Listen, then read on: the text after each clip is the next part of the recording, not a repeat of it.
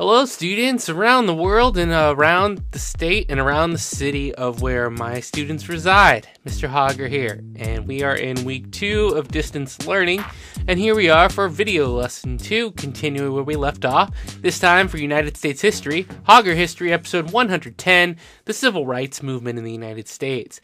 This is a wonderful lesson to teach in class. It's a great time to ask students to reflect and ask students to do interviews and bring in video clips. This presentation is going to be a shortened list of some of the visuals and slides that I would go over during the traditional lecture portion of the classroom.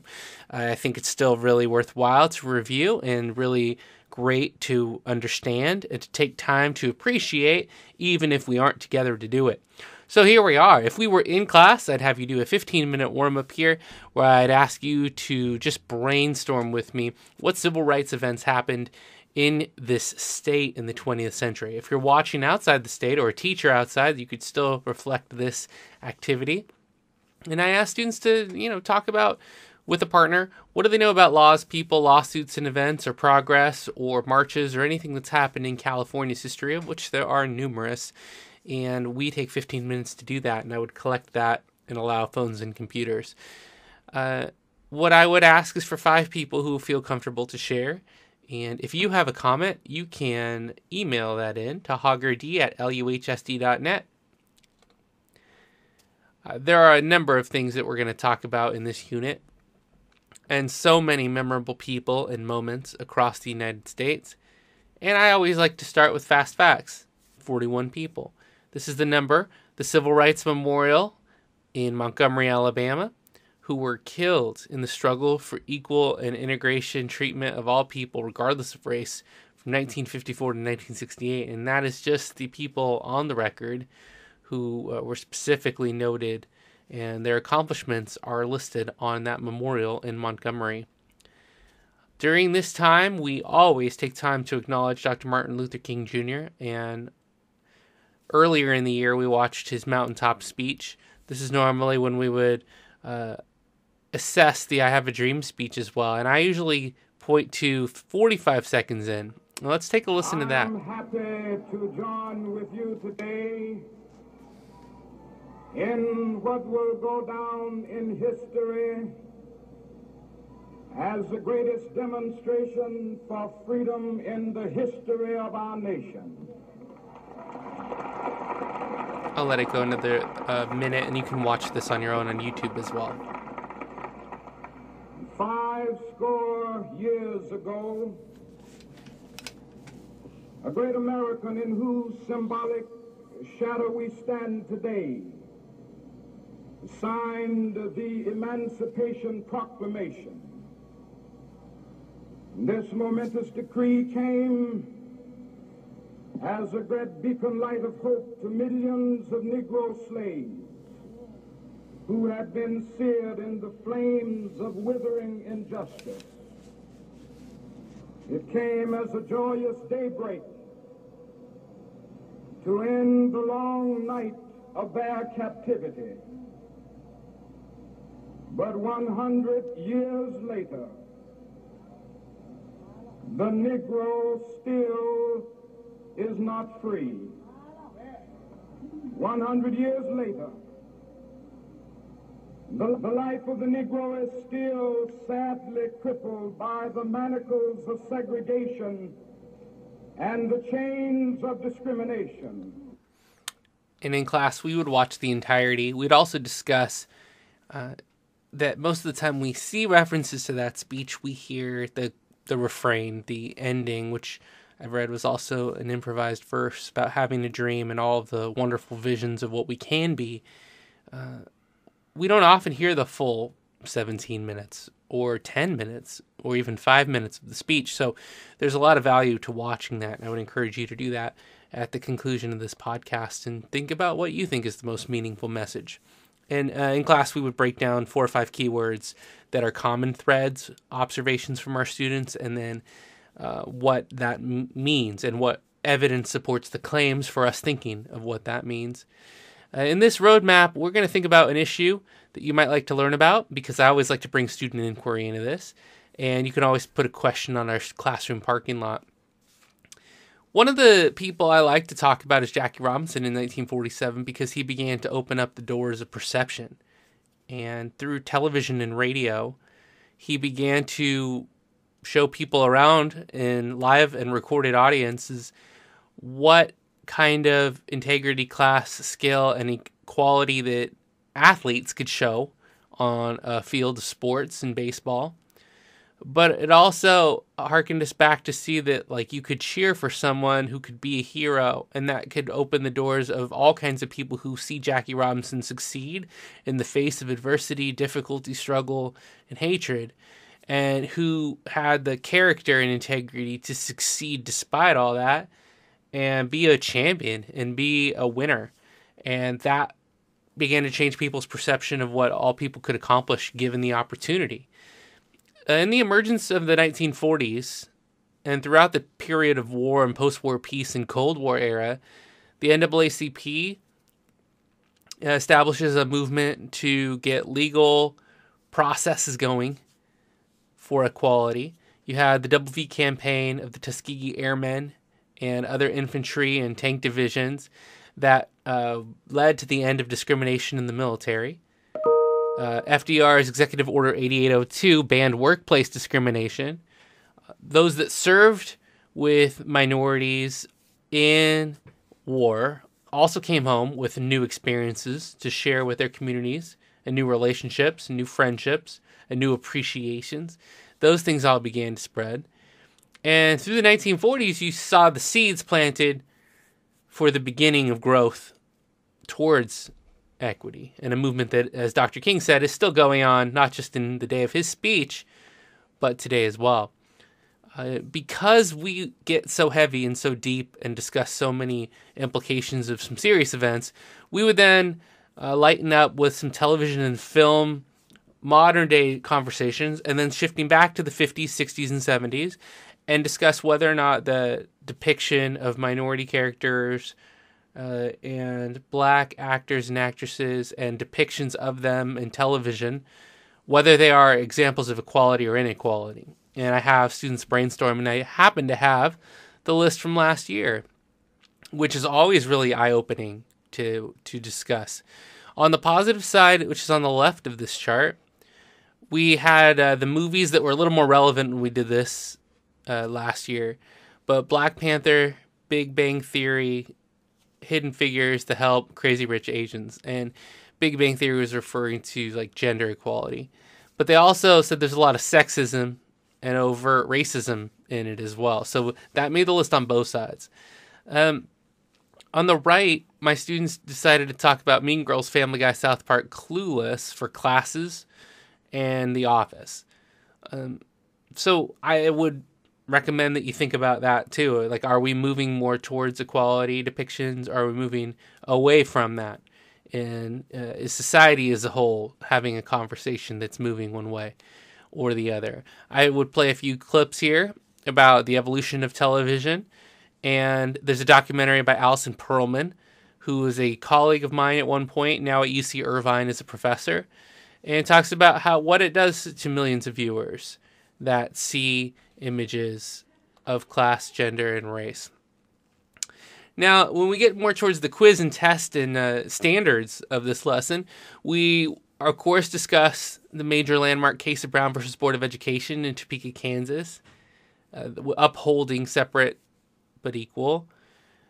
The changes after World War II, uh, the NAACP pushing lawsuits, the Montgomery bus boycotts with Rosa Parks, and that prompting the rise of Dr. King. And then we mentioned how history is a domino effect of people influencing others who then have their own career, and that really activated Dr. King in the civil rights movement.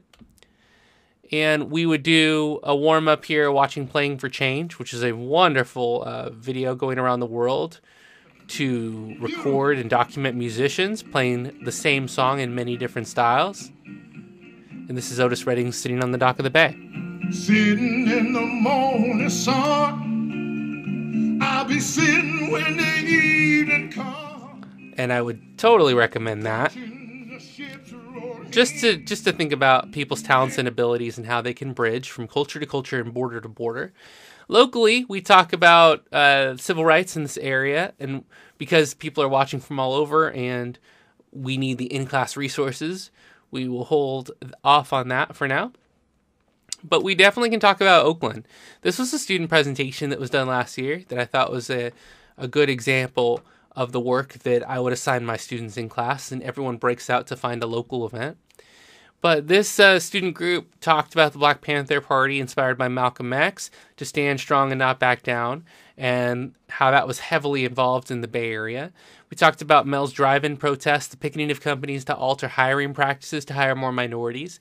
And there were demonstrations that were orchestrated in mass sit ins inside the restaurant, occupying all the seats but refusing to order food. The owner signed an agreement later to hire more African Americans. We could talk about music's influence with Motorcycle Mike Super Rat in the late 70s, Tupac, Mac Dre, E40, all changing the legacy of hip hop through and talking about civil rights related issues as well as other messages. Barbara Lee, the U.S. representative for the East Bay in the 13th Congressional District. She's the first woman to represent the district, but also the first African American. So there are a lot of cases that you could study in your area as well.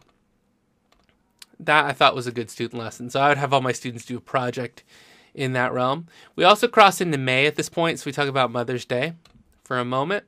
Before we talk about the African Americans who broke the color barrier, Kenny Washington, Willie O'Ree in the NHL, and Jackie Robinson, and Earl Lloyd in the NBA. So there's a lot of good video content there. And we talk about sports and what role sports can have in American history. And it opens doors and it makes people think differently. And it challenges the conceptions that we had at those different eras and how things can change. I also assign a civil rights account where you uh, take on a civil rights event or movement or person and then you create a social media profile for them and create posts, which is a really good idea. And it's a very enjoyable way of conveying and learning more and diving deeper in these particular characters in history from the Chicano movement, Cesar Chavez, John Lewis, Malcolm X, Muhammad Ali, and many, many more. And what's neat about this is there's names on this list who you probably don't know or events that you probably haven't learned that much about. So that's one that I really enjoy doing as well. That might be a good um, like May or June project for us to end the year if we're still on remote and distance learning, which it appears we will be. We can talk about the Montgomery bus boycotts. Rosa Parks refused to give up her seat. Martin Luther King Jr. led the peaceful protest of this movement that swept across the region. My teacher, Melba Beals, pictured here on the screen, was one of the Little Rock Nine to integrated Central High School in 1957, even though he was attempted to be stopped by Orval Faubus, the governor of Arkansas, and then the president calls in the 101st Airborne Division to bring those uh, young people into that high school. That was the first time that a high school had mixed in the United States. There were sit ins across the nation, uh, along with the bus trips and the bus boycotts, that engaged in efforts to integrate racially segregated facilities. We watched that clip from the March on Washington with more than 200,000 Americans gathered in D.C. And of course, culminated by the I Have a Dream speech. The Chicano Mexican American movement in the 60s was with, started in many facilities from field workers to student movements. And the Chicano movement inspired its own organized protests like the mass walkouts of high school students in Los Angeles in the 1970s and in other cities across the U.S. as well. Cesar Chavez united farm workers and unionized for better pay and better working conditions and benefits for the people who worked in the fields Mexican Americans, Filipino Americans, and other minorities who worked in the California fields and began to spread from uh, the Central Valley up and down the state. There was a Native American movement as well with D'Arcy McNickle drafting the Declaration of Indian Purpose, talking about how Native Americans intended to take control of their own lives and how they disliked termination. This declaration started the Red Power movement, which is also something that is, is interesting to read deeper into inside the classroom with videos, resources, and primary sources. I liked grouping together people in the room to do some readings from that movement. You've also got the women's rights movement for better conditions at home and in the workplace and also for sexual orientation liberation as well. In 1959, Dr. King went to India to study the nonviolence and non cooperation techniques of Gandhi, who had achieved independence against British colonial rule. And that's when I would have the class present the results of their research for this for the uh, movements and people that they had researched.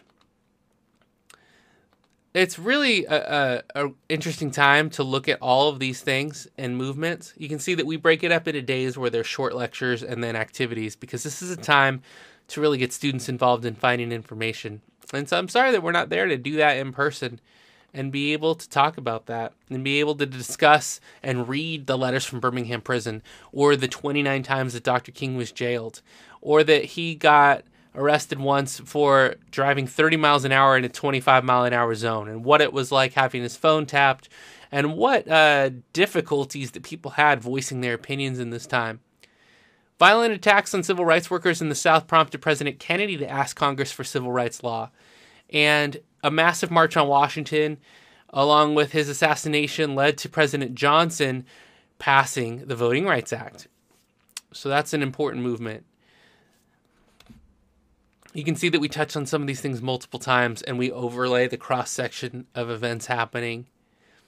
More radical measures and leaders became popular, and some people were frustrated with the slow movement and the slow progress of the civil rights movement. Leaders like Malcolm X advocated for armed self defense. He originally followed the teachings of the Nation of Islam but broke into more radical strains. And here's a quote It'll be the ballot or it'll be the bullet. It'll be liberty or it'll be death. And if you're not ready to pay that price, don't use the word freedom in your vocabulary. So we see different sub movements in the overall movement for civil rights.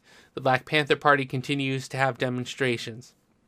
There's a 1968 summer with James Earl Ray assassinating Martin Luther King Jr., sparking hundreds of riots throughout the country.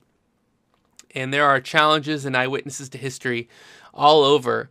And we could document the differences in schools and the banning of school segregation and the challenges that it, it took, the time it took to desegregate all the way from 1960 to 1976, seen here in this chart from DBS and the National Center for Education Statistics. We talk more about Dr. King in class and his movement, how hundreds of people were arrested and jailed in Birmingham and in other cities across the South how Bull Connor and other police officials used the order of attacks and dogs and uh, the blasting of hoses, and these tactics backfired and promoted sympathy when aired on television. But it was a long, slow movement, and it was something that took multiple presidents and multiple laws, and the Civil Rights Act in 1964, and Lyndon Johnson, and even on and on, and even today, uh, the movement to increase the rates of graduations and pay and median income and reduce the amount of minorities in poverty. Uh, this is an interesting slide just because there's so much good information here that I'll just let you sit and absorb for a second to see what your eye catches, and then I would have students comment on what catches their eyes. But everything seemed to be moving towards progress, but it was not quick, was it? Uh, like looking at the elected officials, from 1970 to 2001, where we're over the 8,000 person mark in law enforcement and education, city and county offices, and U.S. state legislatures. It has been decades to see those percentage gains. Our book continues to talk about SNCC and the Freedom Summer of 64 and voter registration drives. And this movement swept across the nation, not without its challenges and riots and violence and difficulties and commissions and research and lawsuits and so many many many notes that it's it's a great time to break out student groups and really discuss how all those things and all those events began to move things forward. And as these things move forward, so does society and culture. Look at the difference in the juxtaposition between how people dressed, uh, some some people in society, how counterculture pops up, how uh, movements and protests begin to join, and how one protest can lead to another, or the activation of one's mind, or how people see uh, mainstream culture and relationships, or how people see music, and how people hear uh, the evolution of sound and entertainment.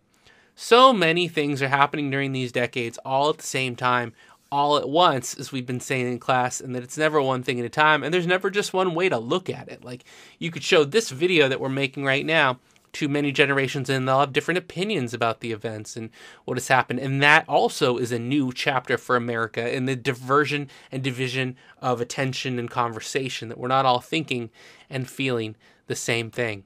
And with that, our presentation is actually ending. So, in about 20 minutes, we've covered just a highlight overview. And the difference of being in class with you and you being able to generate content is you're filling in the blanks. And uh, that's what we'll do if we get a chance to do a final project together.